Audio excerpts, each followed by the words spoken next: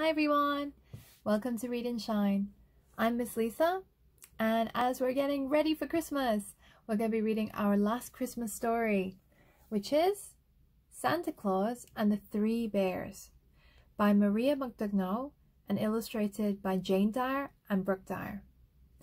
Now this is a really lovely story and if you've ever read Goldilocks and the Three Bears and enjoyed that, then you're going to love this one. So, without further ado, let's get started. Santa Claus and the Three Bears by Maria Modugno, illustrated by Jane Dyer and Brooke Dyer. Once upon a time, there were three bears a great big papa bear, a middle sized mama bear, and a wee little baby bear. It was Christmas Eve, and they were busy decorating their house with holly and berries and icicles. Papa Bear was bringing in a tree from the forest. Mama Bear was preparing Christmas pudding. And Baby Bear was busy getting in the way. Even though he was a baby, he was still pretty big. The stockings were hung and the tree was decorated when Mama Bear called everyone to dinner. She put the Christmas pudding in a great big bowl for Papa Bear. She put some in a middle-sized bowl for herself, and she put some in a wee little bowl for Baby Bear. But when they sat down to eat, the pudding was too hot. Let's take a walk while the pudding cools, said Papa Bear. We can see all the Christmas lights, said Mama Bear. I'm coming too, said Baby Bear. And the three bears set out together. Meanwhile, Santa had finished delivering presents to everyone in the southern hemisphere and he was halfway through the northern part of the world when his sleigh landed on the roof of the Three Bears' house. All three bears were on Santa's list for Christmas presents. The house shook and rumbled as Santa Claus tumbled down the chimney. Santa stood up and brushed himself off he looked around and saw the pudding on the table. After eating milk and cookies all night, the pudding looked tasty and warm. Christmas pudding? What a splendid idea!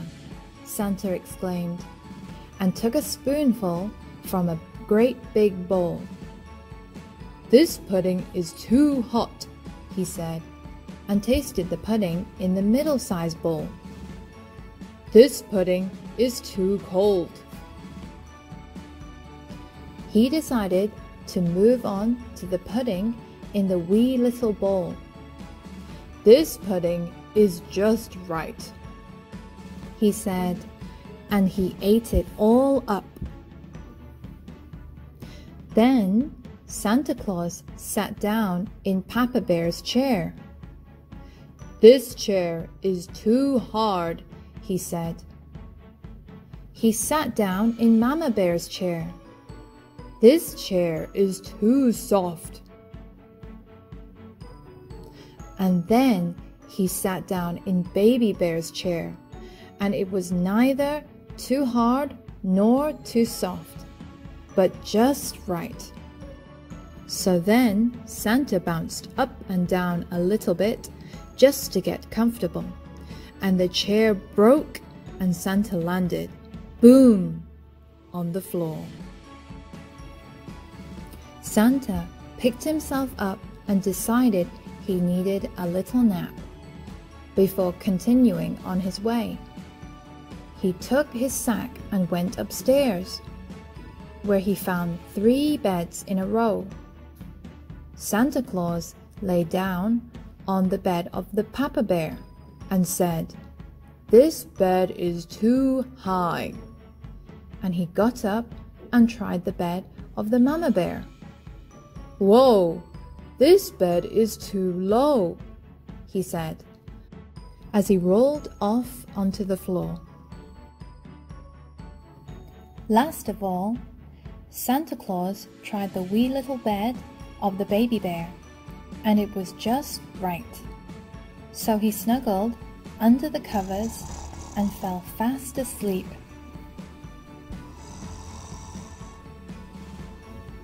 By this time, the three bears were returning home. Somebody has been eating my pudding, said Papa Bear in his great big voice. Somebody has been eating my pudding, said Mama Bear in her middle-sized voice. Somebody has been eating my pudding, said Baby Bear in his wee little voice, and has eaten it all up. The three bears looked around and saw that someone had indeed been there. Somebody has been sitting in my chair, said Papa Bear in his great big voice. Somebody has been sitting in my chair, said Mama Bear in her middle-sized voice. Somebody has been sitting in my chair, said Baby Bear in his wee little voice, and has broken it to pieces. The three bears ran upstairs to see if they could find the mysterious visitor. Somebody has been sleeping in my bed, said Papa Bear in his great big voice. Somebody has been sleeping in my bed, said Mama Bear in her middle-sized voice. Somebody is sleeping in my bed, said Baby Bear in his wee little voice. And who could it be? The three bears looked at Baby Bear's bed. They saw lots of white hair, a red jacket covered with soot, and sticking out from the bottom of the blanket, two black boots. It's Santa Claus! cried Baby Bear. Oh no! And ho ho ho! said Santa Claus. Promise you won't tell anyone you saw me, please? Then Santa reached into his sack and pulled out a great big present for Baby Bear a middle-sized present for Mama Bear, and a wee little present for Papa Bear. Baby Bear was very happy. Can I open it? he asked. Not till morning, said Mama Bear. Morning? said Santa. I'd better get going.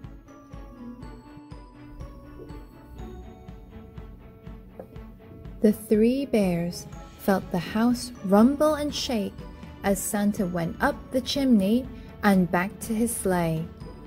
Sorry about the chair, Santa called. I'll bring you a new one next year. And with that, Santa shook the reins and the sleigh took off into the night.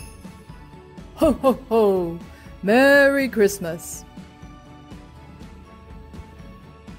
Hope you enjoyed the story, and if you would like to hear more stories, please like and subscribe.